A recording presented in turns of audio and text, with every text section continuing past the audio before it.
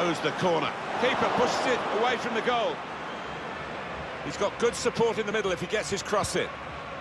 Garida. Looking to attack it in the middle. Well, it's a goal that's been on the cards.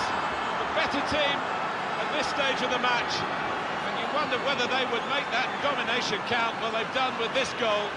Thoroughly deserved. They lead. How about that for a goal? Well, he's got a track record of that on his left side.